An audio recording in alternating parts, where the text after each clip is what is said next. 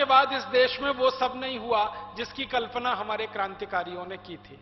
आज़ादी के बाद फिर भ्रष्टाचार शुरू हो गया, लूटमारी शुरू हो गई, अंग्रेज़ों के बनाए हुए कानून वैसे के वैसे ही इस देश पर लद गए। अंग्रेज़ों की शिक्षा व्यवस्था, अंग्रेज़ों की कानून व्यवस्था, न्याय व्यवस्था, अर्थव्यवस्था, प्रशासनिक व्यवस्था, सब अंग्रेज़ों की लद गई तो फिर भारतवासियों को निराशा हुई।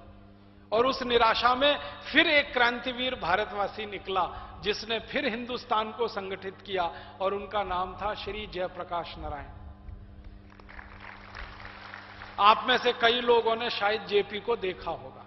मैंने तो कभी देखा नहीं, सिर्फ़ उनको पढ़ा है। आपने तो देखा होगा, जेपी 1975 के साल में अकेले क्रांतिवीर भारतवासी थे, जिनको ये दिमाग में बात आई थी कि इस देश को फिर संगठित करना है और इस देश से भ्रष्टाचार को, उनका पहला मुद्दा था भ्रष्टाचार को खत्म करना है। कारण क्या था? 1975 तक इस देश में श्रीमती इंदिरा गांधी की सरकार चलती थी और श्रीमती इंदिरा गांधी ये कहा करती थी, भ्रष्टाचार तो शिष्टाचार है। आपको मालूम है? श्रीमती गांधी का ये पब्लिक स्टेटमेंट है। भ्रष्टाचार तो शिष्टाचार है, बिना भ्रष्टाचार के तो लोकतंत्र चल नहीं सकता। एक बार तो यहाँ तक कह दिया था कि भ्रष्टाचार वो तेल है जिसकी चिकनाई से लोकतंत्र का पहिया दौड़ता है। माने भ्रष्टाचार रूपी तेल नहीं होगा तो लोकतंत्र का पहिया जाम हो जाएगा। तो श्रीमती गांधी ने भ्रष्टाचार को शिष्टाचार में बदल दिया। और मैं इस बात को एक वाक्य में कहता हूँ कि भ्रष्टाचार को संस्थागत रूप उसी जमाने में मिला। इंस्टीट्यूशनलाइजेशन हुआ करप्शन का। तो जेपी को बहुत गुस्सा था। और जेपी अकेले क्रांतिवीर थे उस दौर में, जिनको दिखता था कि यह भ्रष्टाचार भी खत्म होगा। तो जेपी को लोग कहा करते थे, जेपी, आपका दिमाग खराब हुआ है। ये श्रीमती इंदिरा गांधी जिसकी सत्ता कोई हिला नहीं सकता, जिसकी कुर्सी को कोई डिगा नहीं सकता, और कल्पना में किसी हिंदुस्तानी के नहीं है कि ये कभी महिला कुर्सी से नीचे उतर भी सकती है। आप बोलते हो, इसकी सरकार गिर जाएगी, सत्ता परिवर्तन हो जाएगा, व्यवस्था परिवर्तन हो जाएगा। तो जेपी कहते थे, मैं देख रहा हूँ, आपको नहीं दिखाई देता है। मेरी आँखें आपसे 20 साल आगे का देखती हैं। और जयप्रकाश जी ने संगठन बनाना शुरू किया। वो अकेले आदमी निकले संगठन खड़ा करने के लिए। संगठन किस काम के लिए? भ्रष्टाचार खत्म करना है। आर्थिक असमानता खत्म करनी है।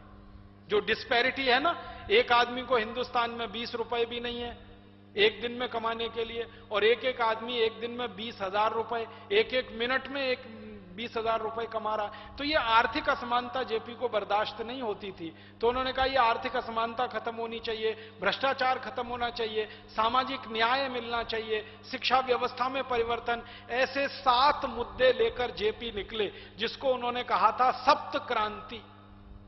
गाँव गाँव निकले। एक जमाने में जेपी जब ये बातें लोगों को कहा करते थे तो चार छह दस लोग सुनने वाले हुआ करते थे। तो जेपी के नजदीकी लोग उनको कहा करते थे, जेपी, चार छह दस लोग आपको सुनने के लिए आते हैं और आप कहते हैं इस देश में क्रांति हो जाएगी। कौन करेगा? तो जेपी कहते थे, धीरज रखो, धैर्य रखो। मैं जो कह रहा हूँ, तुम वो करते चलो, फिर तुम देखना। एक दिन ऐसा आया कि जिस शहर में जेपी को सुनने के लिए आठ दस लोग जमा होते थे, उसी शहर में दो साल में इतना परिवर्तन हुआ कि जेपी को सुनने के लिए साढ़े तीन लाख लोग जमा हुए। पटना में जेपी का भाषण हुआ। साढ़े तीन लाख लोग पटना के गांधी मैदान पर। गांधी मैदान की ताकत नहीं है इतनी कैपेसिटी नहीं है कि साढ़े तीन लाख लोगों को समा सके। पेड़ों पे लोग खड़े हैं, छतों पर लोग खड़े हैं, जहाँ जिसको जगह मिली और वहाँ खड़े हैं। और जेपी का भाषण लोगों ने रैप्ट अटेंशन से सुना था। रैप्ट अटेंशन माने सुई गिरा दो तो सुई की आवाज़ हो जाए इतनी शांति से। साढ़े तीन घंटे उन्होंने बोला था और दिल खोल के बोला था करप्शन के खिलाफ, सामाजिक अन्याय के खिलाफ, आर्थिक असमानता के खिलाफ। और वो जो रैली हुई है जेपी की, उसने इतिहास बना दिया। फिर एक एक शहर में रैलियाँ होना शुरू हुई। बनारस में हुई, फिर इलाहाबाद में हुई। दिल्ली तक आते आते तो जेपी की यह स्थिति हो गई कि दिल्ली में 10 लाख लोग जमा हैं जेपी को सुनने के लिए। जिस दिल्ली में 10 आदमी जेपी को सुनने के लिए कभी तैयार नहीं होते थे। और फिर धीरे धीरे संगठन बढ़ता गया बढ़ता गया बढ़ता गया। और ढाई साल में, मात्र ढाई साल में उस संगठन की ताकत इतनी बड़ी हो गई कि श्रीमती इंदिरा गांधी को इमरजेंसी लगानी पड़ी। जेपी को गिरफ़्तार करना पड़ा। और इतना अत्याचार हुआ पूरे देश के लोगों पर, जिसने कभी ज़िंदगी में कोई अपराध नहीं किया, उनको जेलों में ठूंस दिया गया। यूनिवर्सिटी में पढ़ाने वाले प्रोफेसर्स के ऊपर यह आरोप लगाए गए कि ये बिजली का तार काट रहे थे, इसलिए इनको जेल के अंदर डालो। ऐसे ऐसे आरोप लगाकर हज़ारों लोगों को इंदिरा गांधी ने बंद करा दिया, इमरजेंसी में, फिर पूरा देश खड़ा हो गया। हमारे देश के बारे में मैं ये एक बात कहता हूँ कि ये भारत सोए हुए हाथी की तरह से है। जब तक सोता रहता सोता रहता सोता रहता सोता रहता सोता रहता, कभी इसको किसी ने सुई चुबो दी या पिंग चुबो दी तो ऐसा चिंगाड़ कर खड़ा होता है जैसे मदमस्त हाथी। जेपी ने सुई चुबोई, पिंग चुबोई, पूरा देश खड़ा हो गया। आपको कल्पना नहीं होगी, लाखों विद्यार्थियों ने अपने कैरियर छोड़ दिए स्कूल छोड़ दिए कॉलेज छोड़ दिया आईएएस अधिकारियों ने नौकरी को लात मार दी आईपीएस अधिकारियों ने नौकरी को लात मार दी आईआरएस अधिकारियों ने नौकरियों को लात मार दी और जयप्रकाश जी के साथ शामिल हो गए और उस आंदोलन ने पूरे देश को हिला दिया। और श्रीमती इंदिरा गांधी जिनकी सरकार को कोई हिला नहीं सकता था, जेपी ने उनको कुर्सी से उतार दिया और श्रीमती इंदिरा गांधी की जमानत जब्त हुई थी। जो लाखों वोट के अंतर से जिस कॉन्स्टिट्युएंसी से जीतती थी, वहाँ श्रीमती गांधी की जमानत जब्त हुई थी और एक ऐसे आदमी ने हराया था उनको जिनका नाम कोई नहीं जानता इस देश में। राजनारायण राजनारायण की विशेषता यह थी कि पूरे चुनाव में एक दिन भी चुनाव प्रचार के लिए नहीं गए और इंदिरा गांधी की जमानत खत्म कर दी।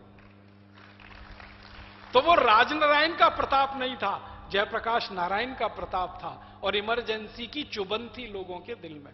और देश में परिवर्तन हुआ, श्रीमती गांधी की सरकार गिरी दुर्भाग्य उस समय देश का क्या हुआ कि जब ये सरकार गिर गई और नई सरकार आ गई तो उस नई सरकार में वही सब पुराने लोग आ गए जिनके खिलाफ भ्रष्टाचार का आंदोलन शुरू हुआ था। यही बड़ी गड़बड़ हो गई। हमारे राजनीतिज्ञ तो बहुत चालाक और होशियार है ना।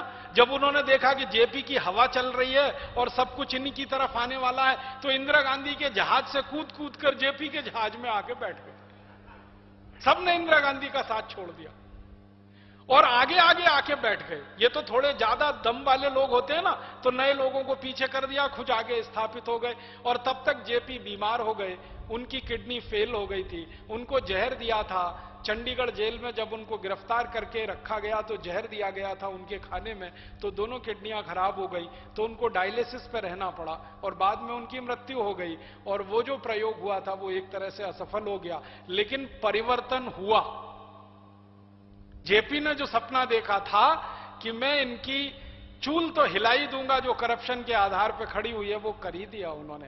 तो मेरे कहने का मतलब ये है कि भारत के इतिहास में अगर आप इसको ध्यान देंगे तो किसी एक व्यक्ति ने विचार दिया है, संगठन खड़ा किया है। लाखों करोड़ों लोग फिर उसके साथ जुड़े हैं और परिवर्तन हुआ है। तो स्वामी जी जो आज ये कह रहे हैं ना, उन